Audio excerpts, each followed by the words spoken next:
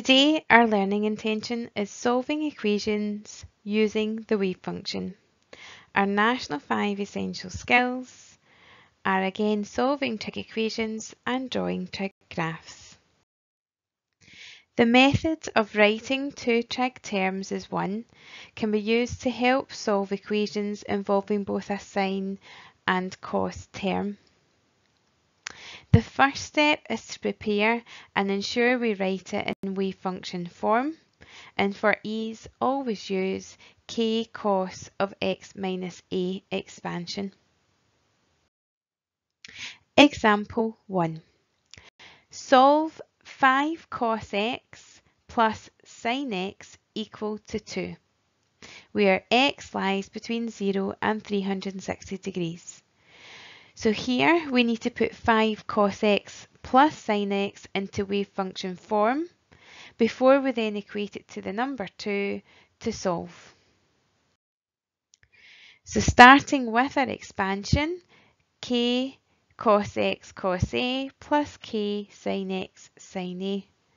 Again, rearrange this before making sure we equate our coefficients. So k cos A lies in front of cos x, which will be 5, and k sin A lies in front of sin x, which will be 1. After we've clearly stated this, we need to draw a cast diagram. Cos A is equal to positive 5, so tick A and C. Sin A is equal to positive 1, so tick S and A. So we're looking for an angle in the first quadrant. Writing out our rule, tan A equals k sin A over k cos A. So tan A equals 1 over 5. If we do inverse tan of a fifth, we'll get an answer of angle A as 11.3 degrees. Now we've got angle A. We then need to find the value for k. So k is equal to the square root of 5 squared plus 1 squared which will give us root 26. So basically 5 cos x plus sin x equals root 26 cos of x minus 11.3 degrees. Now we were basically asked to solve a trig equation, so we need to put root 26 cos of x minus 11.3 degrees equal to the number 2. And in order to solve this, I need to move my root 26 over and divide. So cos of x minus 11.3 degrees is equal to 2 over root 26. Now to solve for x, again I need to draw a cast diagram to see where I'm looking for angles. So cos is equal to positive 2 over root 26, so I'll be looking for angles in A and C. Next step is to do inverse cos of 2 over root 26, which gives an answer of 66.9 degrees. That will be the angle in A, but to get the angle in C, I will need to take 66.9 degrees away from 360. This gives two angles, 66.9 degrees and 293.1 degrees. However, we were asked to find x. So x, take away 11.3. So we need to move the 11.3 over and add to give x as 66.9 degrees plus 11.3 degrees and 293.1 degrees plus 11.3. Final answer for x is 78.2 degrees and 304.4 degrees. Example 2. Solve 2 cos 2x plus 3 sin 2x equals 1 where x lies between 0 and 2 pi.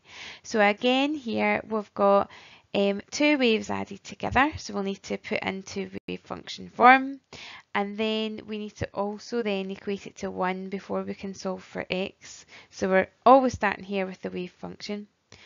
Again, we're going to use k cos of 2x minus a. So we've got a multiple angle as well here to look out for. So the expansion gives k cos 2x cos a plus k sin x sin a. Again, we need to rearrange this to put k cos a together and k sin a together. And after that, we will write 2 cos 2x plus 3 sin 2x underneath in order to equate our coefficients. So k cos A is going to be the number 2 and k sin A is going to be the number 3. So we'll clearly state these values. After we've done this, we are going to then we could find the value of k. So k is equal to 2 squared plus 3 squared, then take the square root which will be 4 plus 9, which gives root 13. Once we've got k, the other thing we need to find is the value for a, and remember this has to be in radians. So we draw out our cast diagram, and again, cos a is equal to a positive value, so we're going to tick a and c. Sin a is also positive, so we'll tick s and a. So here we're looking for an angle in our first quadrant. Now writing out our rule to find our angle, tan A is equal to k sin A over k cos A. Tan A equals 3 over 2. Now this will not be an exact value, so you must ensure at this point that you have changed your calculator into radians. Once your calculator is in radians, you'll do inverse tan of 3 over 2, which gives you an answer of 0.98. Therefore, we can clearly state that 2 cos 2x plus 3 sin 2x equals root 13 cos of 2x minus 0.98 and that's it in wave function form. So that's us done half of the question. Now that we've got it in wave function form, we need to basically equate that to the number 1 and we're going to then solve for x. Remembering again we're still working in radians.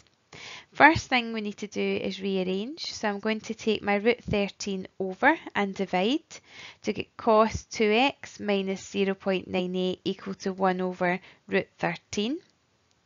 Again, I need to make sure I draw my cast diagram to ensure I'm looking for angles in the correct quadrants. And here cos is equal to a positive value, so I'm looking for angles in A and C. And again, your calculator will still be in radians. So if we do inverse cos of 1 over root 13, we'll get an answer of 1.29. So this 1.29 is the angle in A. So 2x minus 0.98 is equal to 1.29. But to obtain the angle in the fourth quadrant, we need to do 2 pi take away 1.29. This will give an angle of 4.99. And the last step we need to do, or the last couple of steps, is I'm going to have to move my negative 0.98 over and add. And once I add that on, that will give me my first two angles. However, please remember, if we have a 2x, that's not two angles that we're looking for, but four. Now you may be wondering where the 8.55 and the 12.25 came from.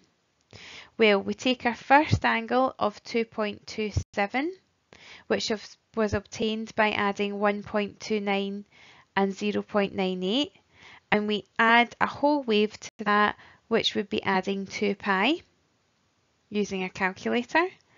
And then our angle of 5.97 that was found by adding 4.99 and 0.98 again we add 2 pi to this and that gives our fourth angle of 12.25 the final step is we will need to divide all of them by 2 and x is equal to 1.14, 2.99, 4.28 and 6.13 to two decimal places.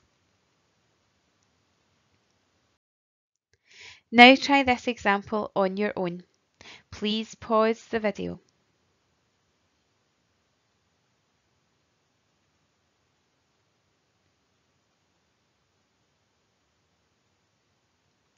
And the answer, x is equal to 5 pi over 12 or 23 pi over 12. If you would like some extra practice from your textbook, please turn to page 318, exercise 16H. Today we've looked at solving equations by using our wave function. To do that we would follow these steps. We would make sure we put two trig functions added together into wave function form. We need to make sure we check if our answer should be in radians or degrees. We would then create an equation to solve. We would solve that trig equation and we would also double check that our answer lies within the stated range we were asked for.